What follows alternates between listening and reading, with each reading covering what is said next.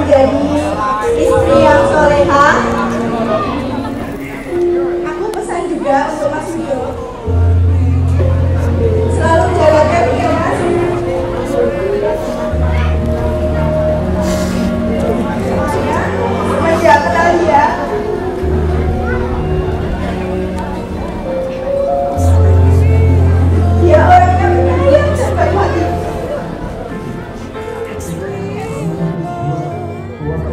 Kevin